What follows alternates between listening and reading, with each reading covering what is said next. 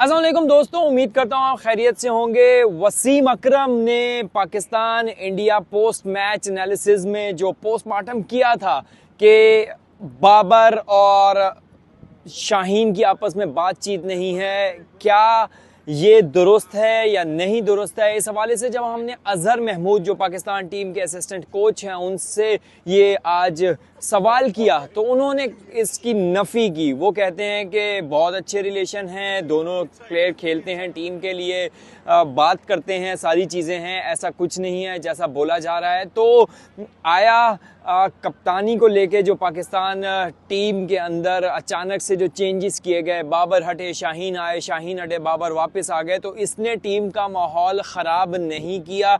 ये मैसेज दिया जा रहा है पाकिस्तान क्रिकेट बोर्ड की तरफ़ से, मगर चीज़ें ऑन फ़ील्ड दिखाई नहीं देती हैं।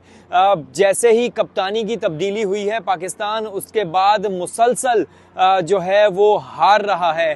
पाकिस्तान की आयरलैंड में जो है वो अच्छी कारकर्दगी नहीं रही, इंग्लैंड में अच्छी कारकर्दगी नहीं रही यूएसए में अच्छी कारकर्दगी नहीं रही, और फिर इंडिया के पास इतना गोल्डन चांस था जहाँ पर बाबर और रिजवान जो कि जिनका नेचुरल गेम है बॉल बाय बॉल 120 बॉलों पे 120 रन बनाना, ना उन्हें बड़े शॉट्स खेलने थे, ना उन्हें सिर्फ़ जो पिच पे रहना था और रोटेशन करना था, वो उसके अंदर भी जो दरकार रन थे वो नहीं बना पाए। तो इस वजह से चीज़ें अब ये नज़र आना शुरू हो गई हैं कि कहा तो यही जा रहा था कि अज़हर तो यही बताना चाह रहे थे कि टीम का माहौल बहुत अच्छा है ऐसी चीज़ें नहीं हो रही जैसी रिपोर्ट हो रही हैं, मगर क्या इन चीज़ों में सदाकत कैसे मान लें?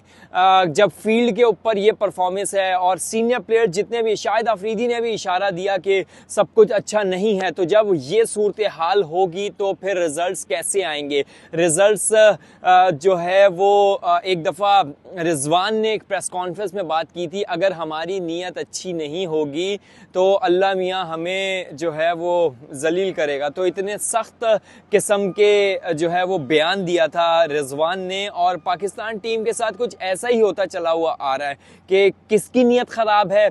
कौन से प्लेयर हैं जिनकी आपस में बन नहीं रही? कौन से प्लेयर हैं जो कि एक कप्तानी के पीछे भाग रहे हैं? और कौन से प्लेयर हैं जिनको लालच इतनी थी कि एक दफ़ा, एक लंबे पीरियड तक जो है वो कप्तानी रह, लेने के बाद फिर आगे चलते हमारे जो अगर देखा जाए तो दुनिया भर में ऐसा होता है। कि कप्तान हटाए जाते हैं, दूसरे प्लेयर के नीचे आके खेलते हैं और फिर चीज़ें जो हैं वो उस तरीके से चलती हैं, जो भी नया कप्तान आता है।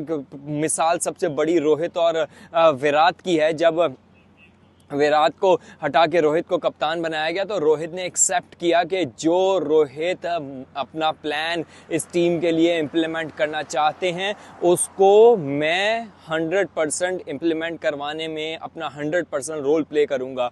तो ये यहाँ पे क्यों नहीं हो सकता? ये कल्चर यहाँ पे क्या, क्यों नहीं हो सकता? ये एक्सेप्टेंस यहाँ पे क्यों नहीं हो सकती? अगर शाहीन कप्तान बन गए थे तो बाबर को अपना जो है वो ग्रेसफुली उनकी कप्तानी को एक्सेप्ट भी करना चाहिए था और आगे लेके भी चलना चाहिए था। और अगर जब चेंज कर दिया गया तो आपको चेंजिंग एक्सेप्ट ही नहीं करनी चाहिए थी पहले उसमें। अब एक्सेप्ट अगर कर ही ली थी तो आपको मेक श्योर sure करना चाहिए था कि आप जिससे कप्तानी कुछ ही मैचों के बाद वापस ले रहे हैं उसको तो ऑन बोर्ड ले लें।